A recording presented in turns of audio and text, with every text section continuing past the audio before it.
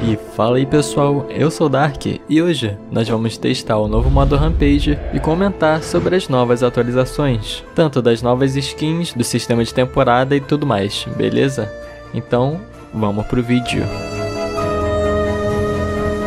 E aqui na sala de premiações nós podemos ver que já modificou um pouco e no caso, a temporada que os testadores alfa estavam jogando já terminou, então eu posso trocar esses pontos Aliás, esse, esses pontos aqui foi o André que deu para os influenciadores, então valeu aí pelos pontos para a gente testar. Então vamos lá, pelo que parece 200 de patente dá para trocar por 1000 pontos de temporada e vamos ver aqui o que, que a gente pode trocar com esses pontos. Então chegando um pouco para a esquerda nós vemos isso. Poderiam fazer até uma masmorra semanal toda nesse estilo aqui, eu achei bem da hora. E chegando aqui, nós podemos ver essa espécie de lápide. O que será que é isso, hein? Quem sabe futuramente eu faço um vídeo decifrando esse texto aqui. Mas clicando aqui na interrogação, nós temos esse textão de Facebook explicando todo o sistema de temporadas. Pontos de temporada e skins. Troque seus pontos de temporada por skins exclusivas.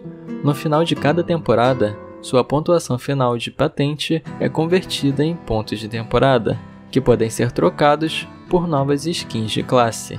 Então, sim, caso você tenha terminado o mês com 214 de patente, por exemplo, você vai poder pegar essa sua patente e trocar por pontos de temporada. E com esses pontos, você vai poder trocar por novas skins. E mais futuramente, os desenvolvedores pensam até colocar outros novos prêmios para você poder trocar. E bem, continuando aqui, aumente sua patente, vencendo outros jogadores no modo competitivo ou jogando as masmorras semanais diariamente. Skins novas podem ser equipadas na tela de editar personagem e o conjunto de skins disponíveis será atualizado periodicamente, portanto, obtenha suas skins favoritas sempre que puder. E uma coisa que o desenvolvedor André já falou é que periodicamente as skins vão ser trocadas, e pode ser que futuramente alguma skin possa voltar para cá ou então possa ser comprada de alguma outra forma. Então, pessoal, pelo que parece, nós só vamos poder trocar a nossa patente pelos pontos só no final do mês. Então, por exemplo, se você quiser juntar 300 de patente uma semana e trocar por moeda e depois juntar mais 300 de patente em outra semana, eu acho que não vai dar para fazer isso. Você só vai poder trocar no final do mês quando acabar a temporada. Então, basicamente, como nós vimos, os pontos de temporada são os pontos em que a gente vai poder trocar por essas skins e também futuramente vamos poder trocar por outras coisas. Então aqui na esquerda nós já podemos ver as skins que nós podemos trocar. Então vou pegar esse aqui eu achei bem interessante. Vou pegar essa guerreiro de elite aqui. Ah, aqui já mostra um atalho para gente, se a gente quiser editar o personagem na hora. Eu vou pegar aqui do do alto mago e vou editar o personagem. Então vamos lá. Pronto, acho que foi. É, foi só que eu tenho que habilitar. Eu esqueci onde que habilita pra ver a skin. Deve ser nas configurações. Poderiam colocar aqui mesmo a opção de habilitar para ver a skin. Ó, já abri a conquista. O que importa é a aparência. E ganhei um primeiro Grimório, que é uma referência ao livro Necronomicon, né? Grimório Necronomicon. Será que é um pet? Não, é um. Cara, me 19 mil. Dá bastante aí de ataque. Interessante. Olha só, mas uma adaga de magia, né? Bem interessante. E se eu não me engano, existem outros livros desse daqui. No final do vídeo acho que eu vou mostrar aí na tela, porque é spoiler. E agora nós vamos testar o novo modo Rampage, que basicamente é um super ultra master Sony Blade difícil, tá ligado?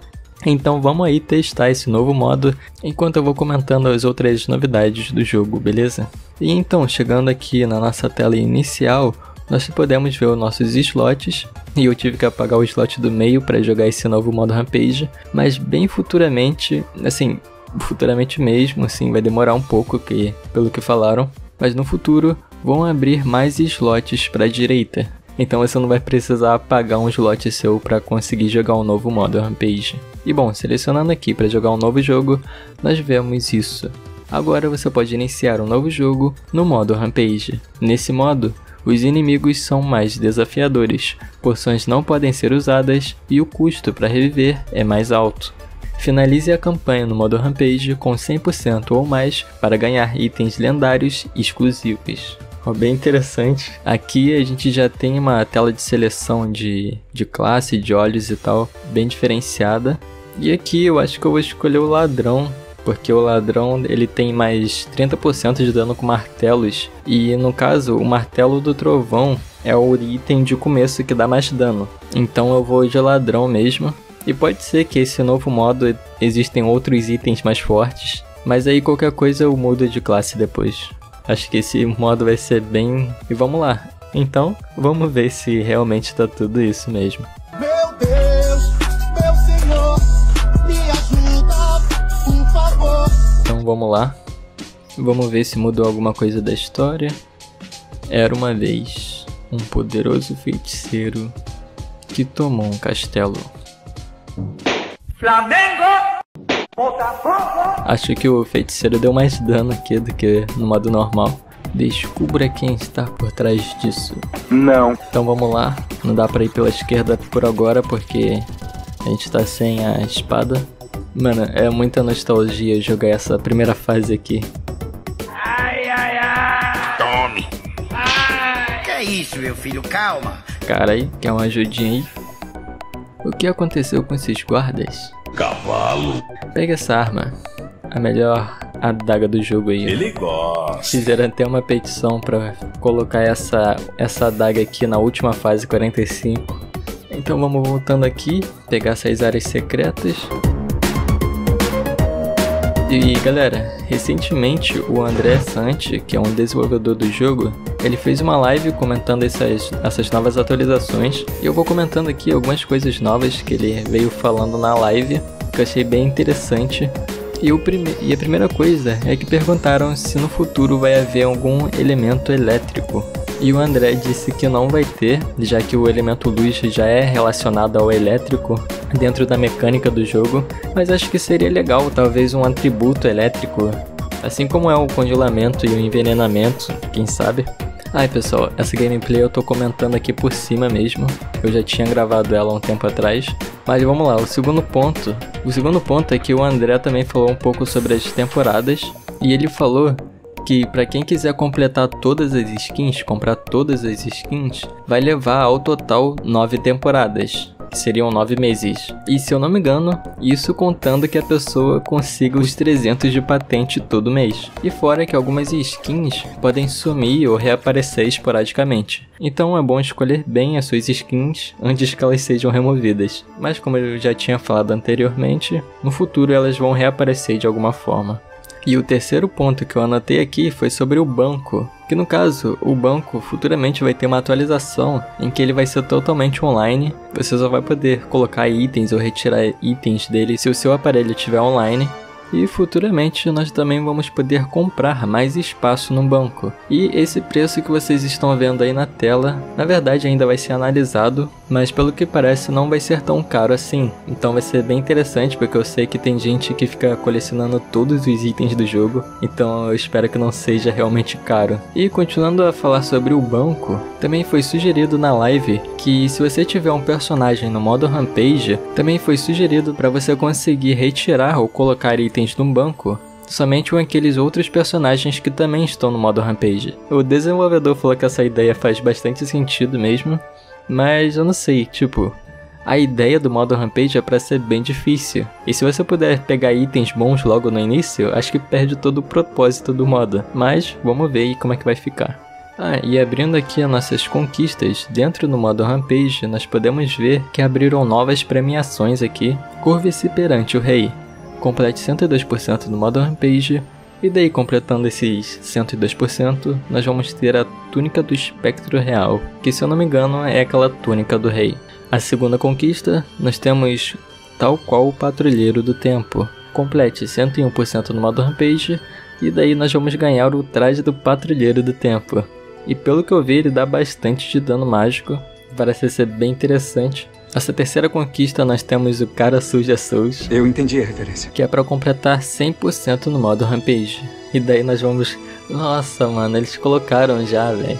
Pra quem não tá ligado, há um tempo atrás fizeram uma petição, um abaixo assinado, para que eles colocassem essa adaga de ferro, que é o primeiro item do jogo, só que uma versão melhorada dela. E já colocaram aqui. Mano, é muito da hora quando a empresa ouve seus jogadores. E a quarta conquista, nós temos a fusão, que é quando nós vamos se juntar ao rei.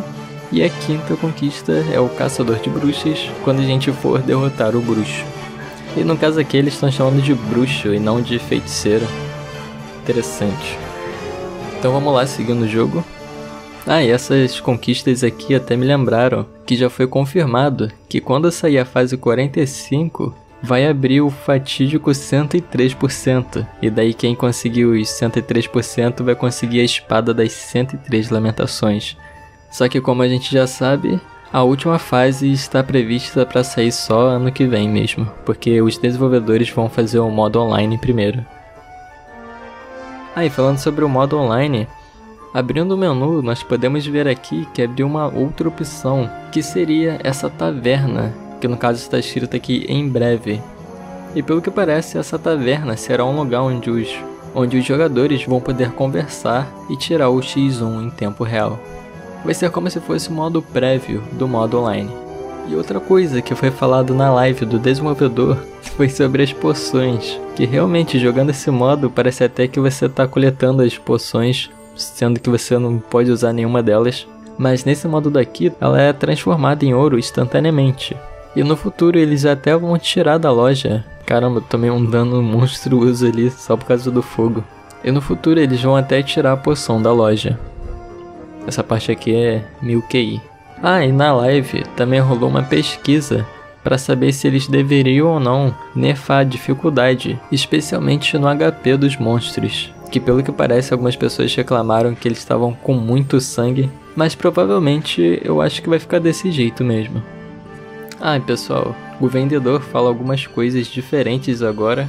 Então, por exemplo, na primeira vez que eu entrei na loja, ele falou sobre ele falou que os preços estão mais baixos e tal. E até ele até falou, tipo, eu te conheço de algum lugar? Como se ele já tivesse visto o nosso personagem alguma outra vez. Então olha aí o André colocando mais lenha na fogueira, mostrando que o vendedor pode ser que seja sim onipresente, porque se ele for realmente onipresente, ele teria lembranças do meu outro personagem. Então essa frase faria mais sentido. É, e parece que nesse modo aqui a gente vai ter que ir com bastante calma, não vai dar pra sair tryhardando, matando os monstros por hit kill. Zóia aqui, já veio outro esqueleto. Eu vou trazer ele pra cá, pra trás, porque aí vai ter mais espaço. Mano, agora que eu percebi que eu, pela primeira vez eu tô usando uma estratégia para matar os monstros nesse jogo. Bem da hora. Mano, esse vídeo aqui vai ficar muito aleatório. Vai ter comentário meu por cima da gameplay, vai ter comentário durante a gameplay. Enfim, tecnologia. Vixe, morri.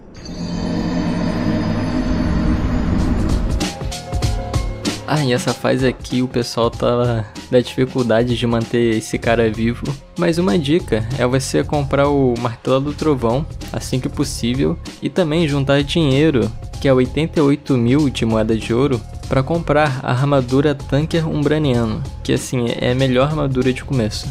Então você já junta dinheiro para comprar essa armadura e o Martelo do Trovão, quando ele aparecer na loja. Enquanto ele não aparece, eu vou jogando com esse novo martelo aqui. Eu não sei se é novo ou eles só mudaram o design dele. Achei bem interessante. Então vamos prosseguindo aqui.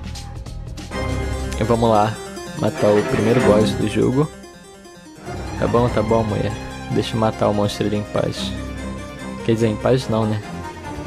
A cara de tinhoso de sete pele. Ai, mamãe! Que cara sem graça.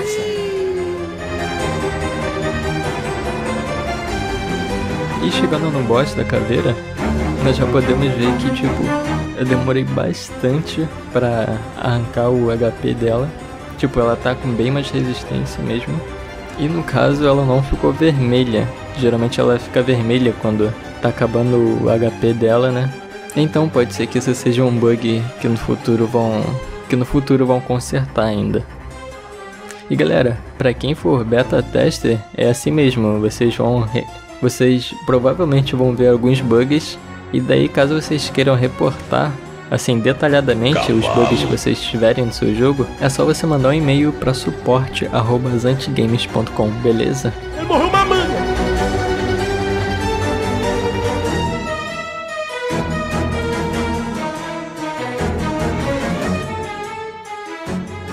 Mas, de qualquer forma, eu vou finalizando o vídeo por aqui. Deixe o seu like se você gostou do vídeo. Se inscreva no canal se não for inscrito. E falou!